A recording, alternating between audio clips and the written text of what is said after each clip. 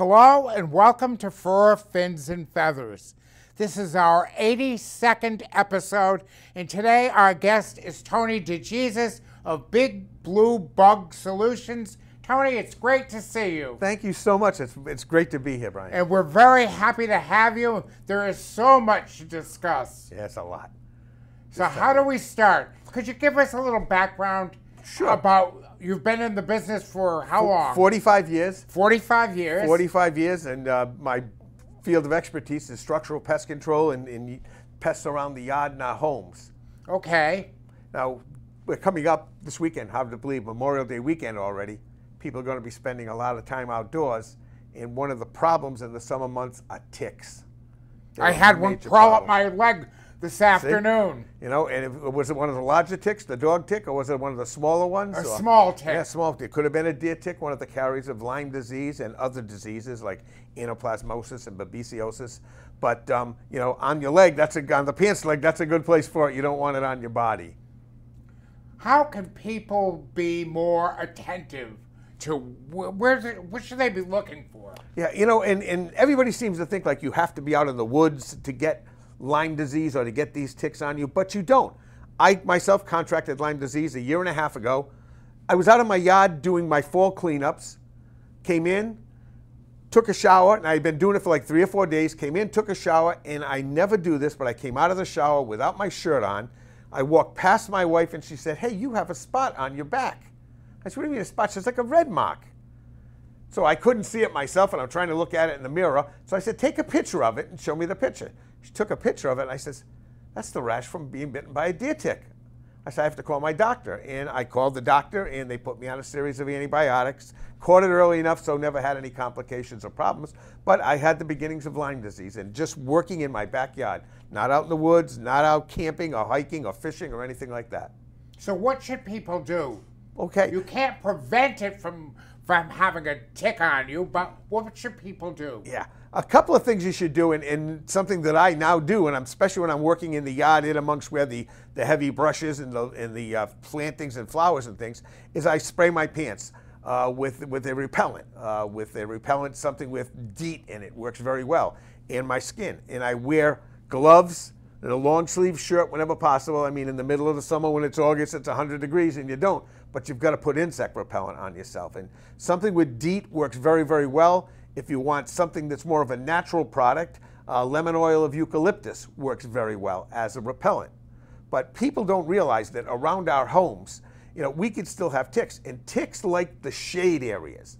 And they don't like they're not out in the middle of your lawn. So don't think you have to spray your lawn to get rid of ticks. Ticks aren't out in the middle of the lawn unless one happened to fall off an animal that came through a yard. That's they don't like direct sunlight. They like the shade areas, the brush areas, and that's where you want to be very careful when you're working in those areas.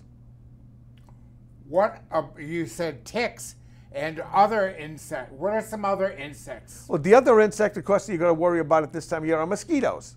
Mosquitoes. And, and whether you're a person or whether you're a dog owner, because mosquitoes carry heartworm that can make the dog sick, but also the, the things that mosquitoes you have to worry about are like triple E in particular, which is a very serious disease and very prevalent in southeastern Massachusetts. We have more cases of it in southeastern Mass than we do in other areas. It's not as prevalent as some of the other diseases, but uh, you know, malaria uh, is really not a United States problem, but overseas in the in the areas like Africa and South America, malaria takes hundreds of thousands of lives every year. But we're lucky here in the United States, we get ahead of it. You know, many of the cities and towns pre- pre-treat, uh, pre-treat their waterways, but around our own homes, for both ticks and mosquitoes, both insects love moisture. They need a lot of moisture. So things like leaf litter, either leaf litter in our garden areas or around in between our shrubs should be removed because under that leaf litter is where the deer ticks and the ticks will hide, the dog ticks and the other ticks. Up in our gutters, where the water gathers and the leaves can back the gutters up, that's where mosquitoes will breed. And even like in our plantings and around our yard, you should have some, you shouldn't let it get too overgrown. When it gets overgrown, that's where the ticks like to be. And those ticks will climb up on the tips of the plants or the high grass and they do what's called questing. They stick their front legs out and they wait as something walks by, whether it's an animal or a person, and they just grab on and now they've hitched a ride with you, and then they try to get under your clothing so that they can get to some skin because they are blood feeders. Very good. What should people be looking for w- with their dogs and cats? Yeah, with the dogs and cats, you know, uh, typically, if you have a dog like mine, I have a small dog, a dachshund, and she goes in and out real quick.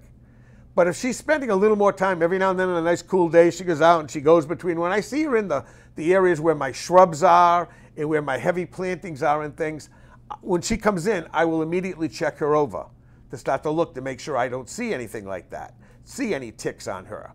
Uh, also, an area with, for fleas and stuff like that.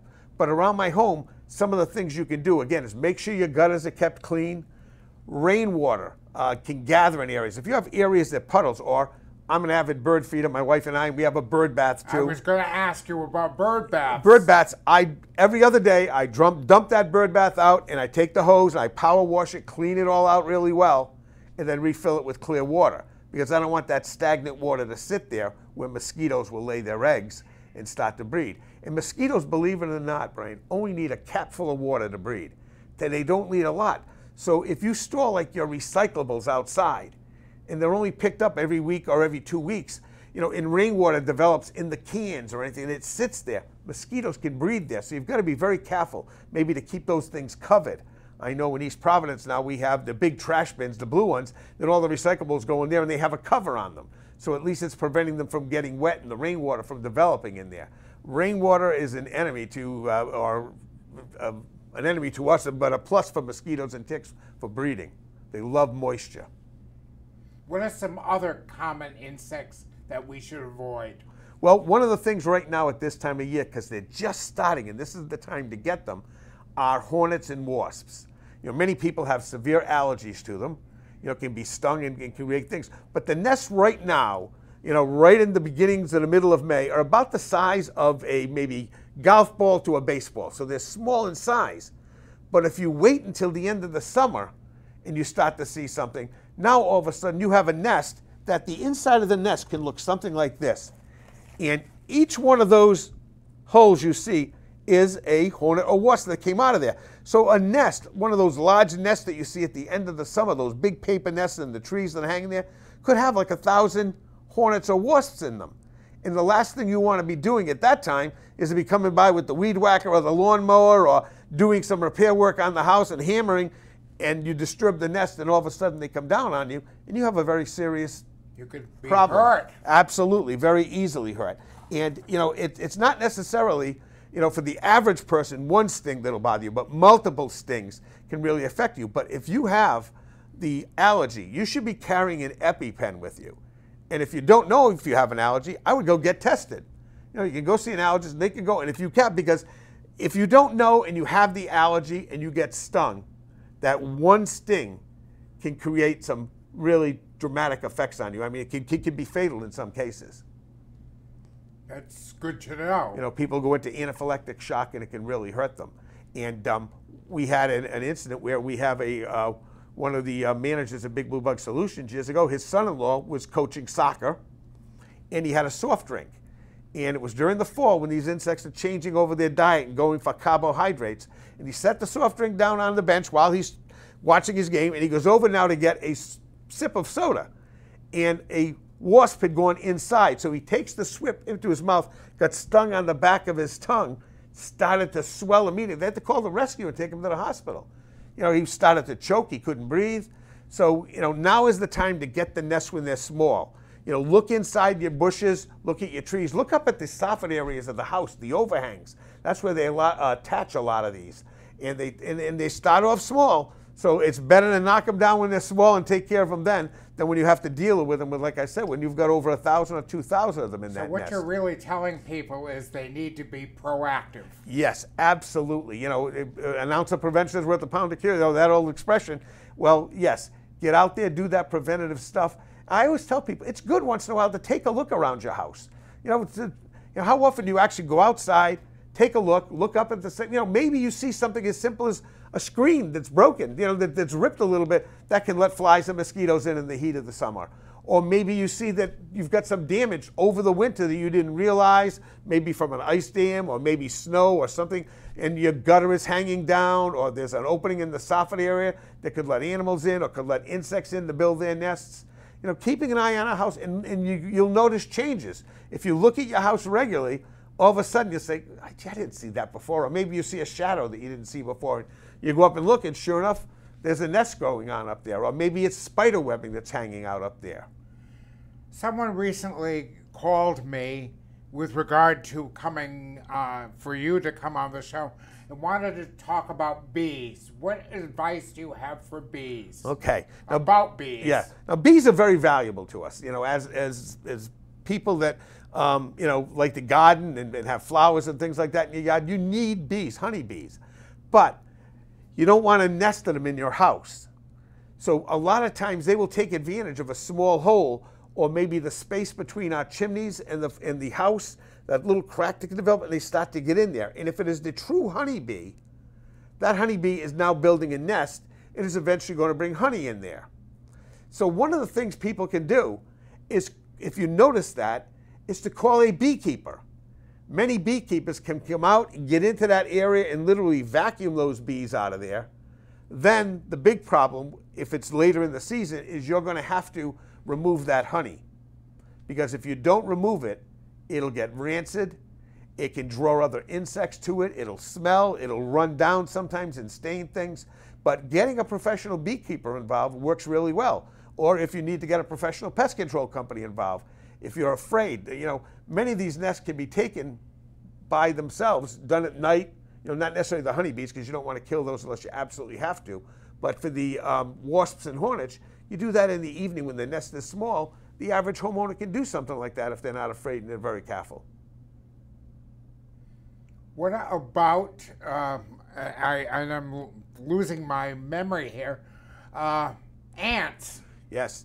Ants at this time of the year are really a problem because they're starting to come out and it's still a little early in the season, so some of their natural food is not available outside. So now they come indoors. What would be natural food for an ant? Other insects, um, organic materials, spillages, and things like that that are outside, depending on the species of ant. Um, they, they eat other insects, they eat dead insects. So um, some of them feed off of a honeydew secretion in our trees created by aphids that live in the trees. They create a, a, sweetness that they secrete, and the ants will come and literally feed on it. And in some instances, like carpenter ants, they'll literally farm the aphids and, and protect their area where there are aphids that they can get the secretion from without killing the aphids. Very, very interesting. Yeah. So how do you prevent that from happening? A couple of things you could do. And the main thing is, you know, all insects have a part in our general environment. I mean, they're, they're all vital in some way in the ecosystem. Uh, Disney uh, used the term the circle of life. You know, and it starts with the insects and works all the way around to the larger animals. Well, with ants, one of the things you want to do is, you know, you can give them the yard and the back area away from where you spend the time, but you don't want them in your home. So you can put a barrier around the outside of your house. Uh, like you can use a barrier of insecticide granules uh, that you can sprinkle around. If you want to use a, a natural product, uh, you can buy diatomaceous earth, which is a good natural product you can sprinkle around outside. Right along your foundation, you make a barrier from the foundation out about three feet.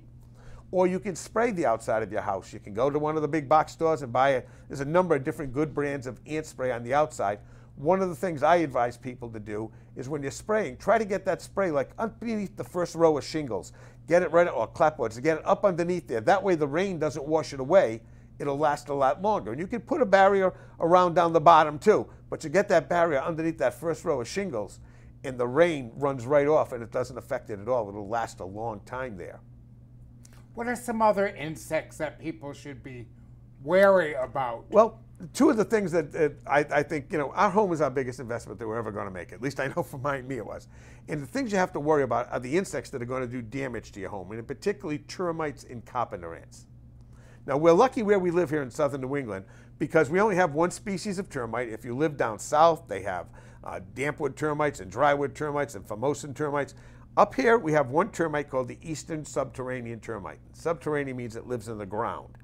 So anywhere there's not a community in southern New England that does not have termites. So what you have to do is you have to take a look at your house every once in a while and look at the wood around the outside of your house. When you, if you're working in the garden or you're digging around your flower beds, look and see, do you see anything that looks like little tiny white ants going through, or cream colored ants going through the mulch? That could be your first sign of termites. And termites feed on the wood. They actually get nourishment from the wood and they can digest it. And when termites are feeding on the wood, now this is a solid beam of wood. We cut out actually from one of the support beams in someone's structure. And all insects damage wood. Termites, carpenter ants, powder they damage wood with the grain of wood. So if you're looking at your wood damage and it's with the grain of wood, termites leave a mud tunnel, mud traces in the wood. The wood looks very dirty when it's been eaten by termites. And um, as opposed to an insect called a carpenter ant that I'll talk about in a second, carpenter ants do very clean damage. They got the name carpenter ant because it kind of looks like a carpenter went through that wood and finally sanded it and everything and made it look good. But the termite is getting its nourishment from the wood but it comes from out of the ground to feed on our wood. And termites can cause a lot of damage. A lot they? of damage. Yes, they can. Absolutely. A lot of structural damage. And they sometimes damage the wood right up to the point to where they come through. So you don't necessarily know they're in there. We call them the silent invaders. You don't see them because they're not feeding on anything else but the wood. So they come up out of the ground, and one of the things to look for are what we call mud tunnels. And a mud tunnel will come from the soil up, up your foundation, and sometimes it, it they're sneaky. They go between the cracks where your steps, the foundation of the steps in the house foundation, they're poured separately, and there's that crack, and they get up behind that kick plate. They feed on wood there. So once in a while, take a good look. Poke at the wood a little bit, easy with a screwdriver. You don't want to damage your house, but a little bit with a screwdriver. Does it feel spongy? Does it feel soft?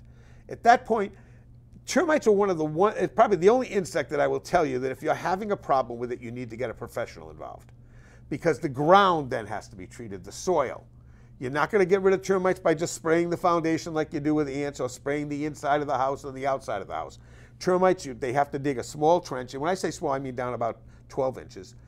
And they dig a small trench. They flood that with a termiticide, and then they rod the soil to get down to the footing. And when a proper termite application is done like that, it can last for years. And it'll give your house good protection. And, you know, that's where our big money is spent. Now, as opposed to the termite, which eats the wood and, and gets nourishment from it, the carpenter ant chews on the wood but throws the sawdust aside. So, one of the signs of carpenter ants is if you break open a piece of wood, it'll be very clean inside. There won't be any mud. But also, you see carpenter ants. They're the larger ants you see either in your backyard or crawling around once in a while in your house. And people always say, oh, I saw a carpenter ant today in my what house. What color are they? They're black to a reddish. They can even be a, a reddish brown, or they can be black and red. They can be like three different three different okay. colors, depending on on the ant itself. But they can be different sizes too. They have what's called major workers and minor workers. Termites are all the same size, but much smaller, like a quarter the size of a carpenter ant, very small. But carpenter ants will enter our home, and once in our home, they'll look for hollow wall voids first if they can, or if not, they take advantage of moist wood for both the termite and the carpenter ant, and this is why it's so important for the homeowner, that if they have a leak or get a leak, to get it fixed, to get it repaired as soon as possible. And if the wood is damaged, get the wood repaired too. Because that wood, if they don't do it, it's soft. It's like a carpenter ant or a termite. It's like a piece of filet mignon. You know, that's, a, that's a good piece of meat for them to feed on, and they will take advantage of that. And cause ser serious damage. Serious damage. Very serious damage.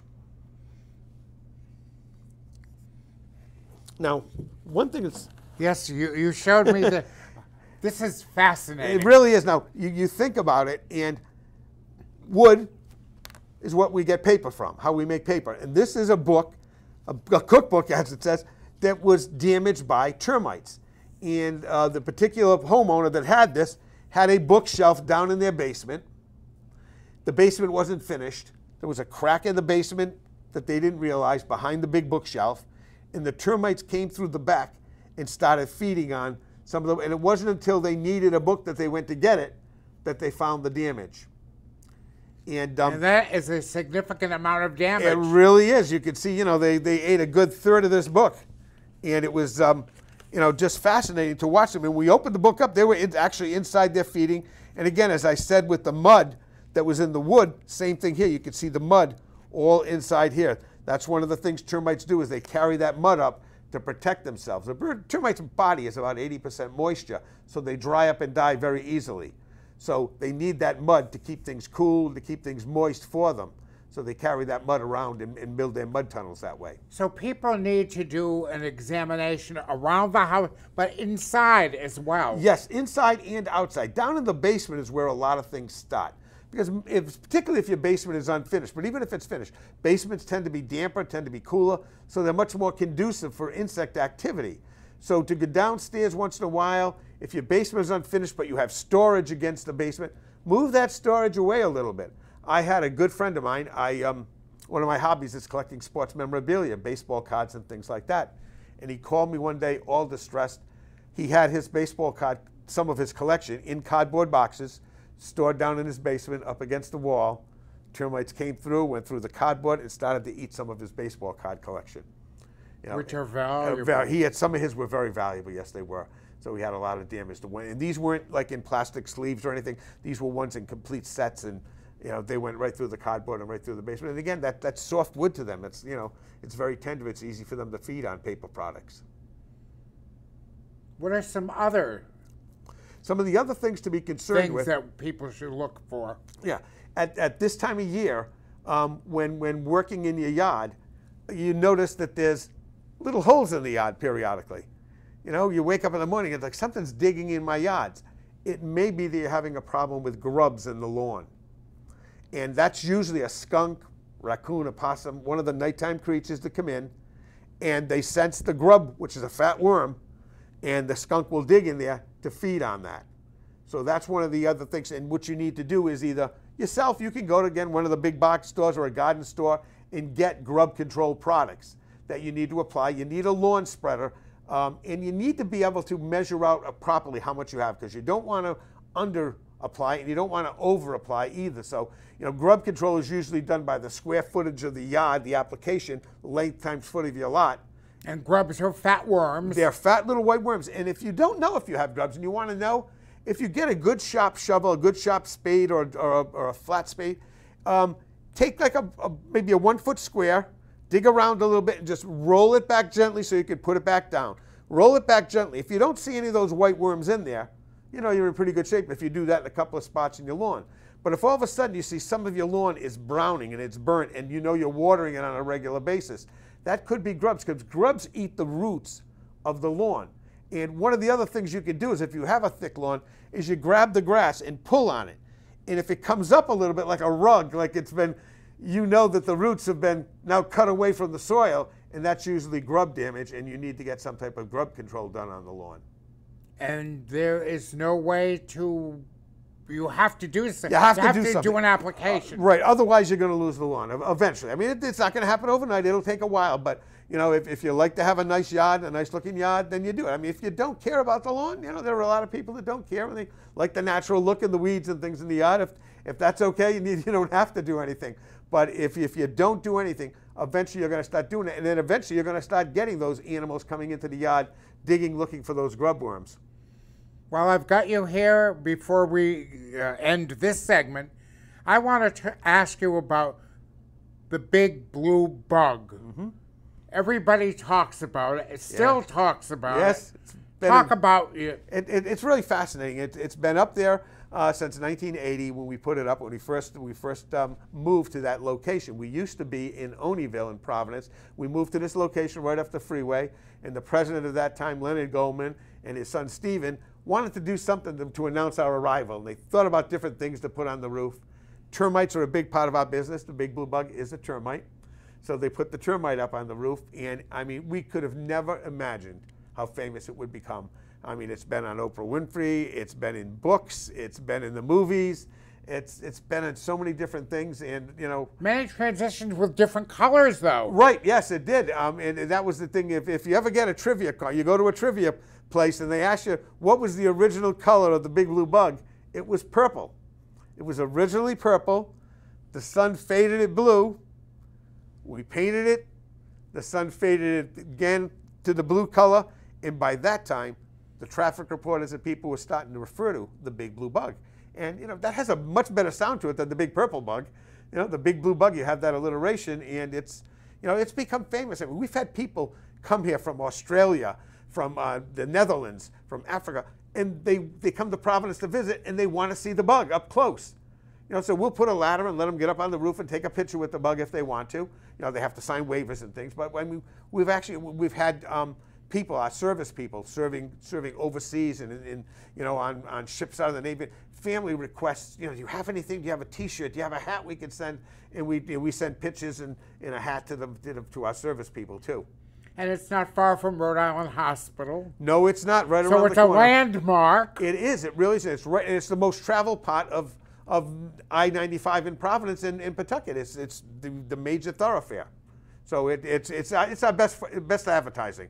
You know, we can spend money on TV and radio and stuff, but the, the big blue bug is the best advertising. And people people widely recognize it. They really do. And and it was interesting. A few years ago, we had to refurbish it, so we took it off the roof. And we get this call from a gentleman who's in Attleboro, Mass. And he says, Hey, what happened to the bug? He said, I was looking for 195 East. He said, I'm going down to the Cape from New York. And people said, Right after you see the bug, you're going to be making a turn onto 195. And that's what we had to tell him. I'm sorry, we took it down to be refurbished. So uh, it, it had a nice facelift, and it, it, a couple of times now we've had to do it and just repaint it up and make it look good. But it is definitely a Rhode Island landmark. Yeah, it really is. Matter of fact, when um, they were looking for things to put on the state quarters, the Big Blue Bug was one of the things they considered. Well, Tony, it's been fabulous. I've enjoyed I've really here. Enjoyed having you, and we are going to take a break, and then we will see episode 83. All right. But it's been fun. It's been great. I've really enjoyed it. Thank you.